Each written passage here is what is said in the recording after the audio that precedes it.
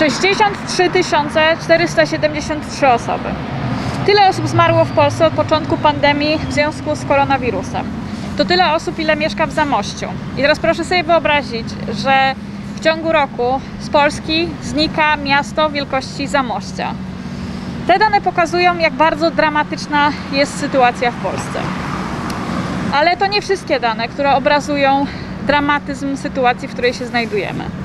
W ciągu pierwszych 12 tygodni 2021 roku w Polsce zmarło prawie 129 tysięcy osób, o 28 tysięcy więcej niż rok temu i o 24 tysiące więcej niż w latach 2016-19. W tym samym czasie z powodu koronawirusa oficjalnie zmarło 15 tysięcy osób.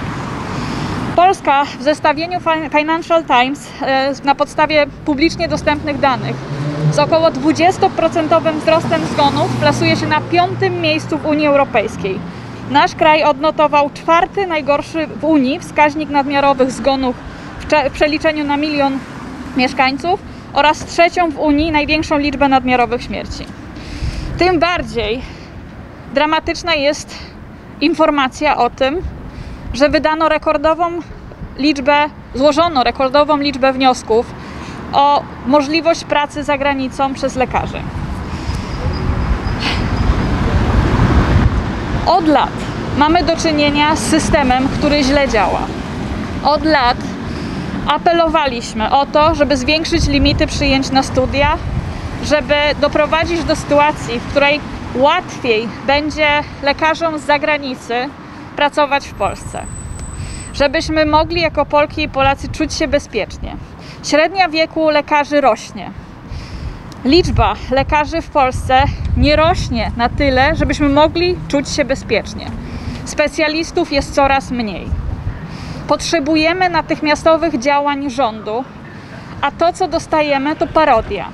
Parodia tego, jak powinna działać ochrona zdrowia. I jest to o tyle dramatyczne, że kosztem jest nasze życie i życie naszych bliskich, nasze zdrowie i zdrowie naszych bliskich. To, że rząd Prawa i Sprawiedliwości nie potrafi sobie poradzić w pandemii, wiedzieliśmy i mówiliśmy o tym od dawna. O tym, że jest źle, mówili zarówno lekarze, lekarki, e, pielęgniarki, pielęgniarze, personel niemedyczny. Mówiła o tym lewica, mówiły o tym wszystkie partie opozycyjne. Co mówili nam rządzący? Niech jadą. Nie są nam potrzebni. Skoro nie potrafią się dostosować do sytuacji w Polsce, niech jadą. Nie będziemy za nimi tęsknić. Dzisiaj widzimy, jak bardzo te słowa były oburzające. Jak bardzo te słowa były nietrafione względem tego, jak heroicznie bronią życia i zdrowia nas i naszych rodzin pracownicy ochrony zdrowia. Ale nie tylko lekarze. Szanowni Państwo, z Polski wyjeżdżają nie tylko lekarze, ale również wyjeżdżają pielęgniarki i położne. W 2008 roku przeciętny wiek pielęgniarki to były, było 44 lata. Teraz to już jest 53 lata. Po, położna przeciętnie ma 50 lat. E, zarobki niewspółmierne z niezwykle odpowiedzialną i trudną pracą osoby, które kształcą się do zawodu pielęgniarza e, czy e, położnej, e, po zderzeniu się z rzeczywistością z tej pracy rezygnują i też z Polski wyjeżdżają. Średnie zarobki w Polsce pielęgniarki to jest 4500 brutto. Tymczasem w Niemczech to już jest 9 tysięcy e, do 14 e, tysięcy złotych brutto, a w Anglii to jest 100, 10 tysięcy do blisko 19 tysięcy złotych. A więc o czym my tutaj mówimy? Czy można w tej sytuacji się dziwić, że pielęgniarki i położne, i pielęgniarze i położni też wyjeżdżają za pracą, za chlebem za granicę?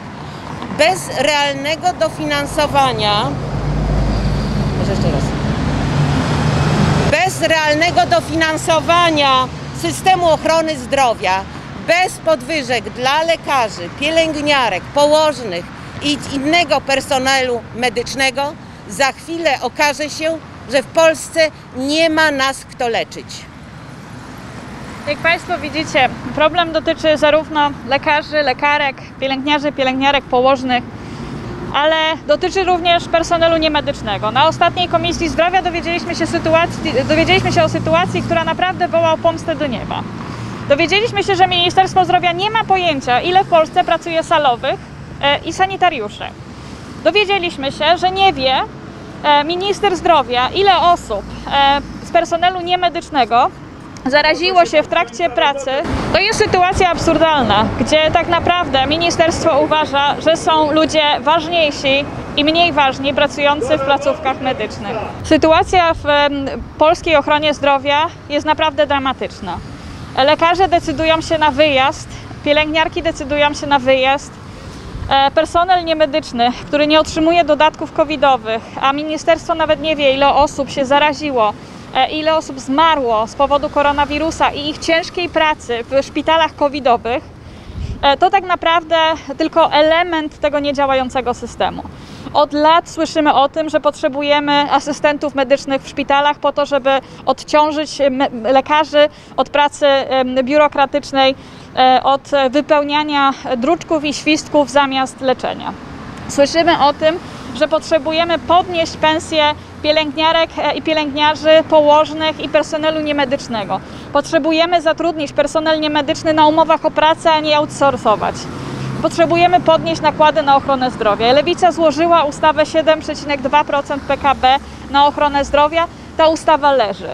Leży i nie jest procedowana. Leży w zamrażarce sejmowej.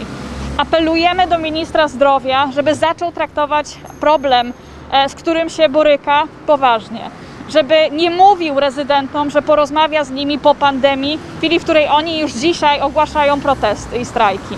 Żeby nie traktował e, źle e, pracowników niemedycznych, czyli salowe i sanitariuszy, bo traktowanie ich jak pracowników drugiej kategorii to jest coś skandalicznego, bo ci ludzie poświęcają swoje życie i zdrowie po to, żeby ratować nasze życie i zdrowie. Bo jeżeli szpital nie będzie porządnie odkażony, jeżeli szpital nie będzie porządnie umyty, to nie ma takiej opcji, żeby się nie zarazić koronawirusem. I to oni dbają o to, żebyśmy w tych szpitalach byli bezpieczni i bezpieczne, żeby nasze rodziny, które trafiają pod respiratory do tlenoterapii, mogły czuć się bezpiecznie.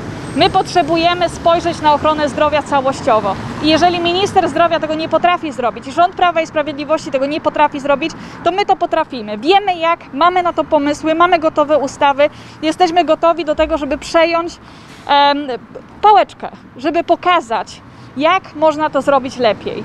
I to nie są, to nie jest czcze gadanie. To są rzeczy, które w Europie Zachodniej zostały już zrealizowane bardzo dawno temu, ale żeby nie patrzeć daleko, nasi koledzy i koleżanki z Czech zrobili reformę, której my się domagamy, która pomogła usprawnić działanie ochrony zdrowia, która pomogła doprowadzić do sytuacji, w której lekarze przestali wyjeżdżać, w której pielęgniarki i położne przestały wyjeżdżać, w której personel niemedyczny w końcu zaczął czuć się bezpiecznie.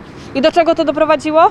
Do tego, że ludzie mają lepszą ochronę zdrowia i wiedzą doskonale, że mogą na niej polegać. W Polsce tej pewności niestety nie mamy.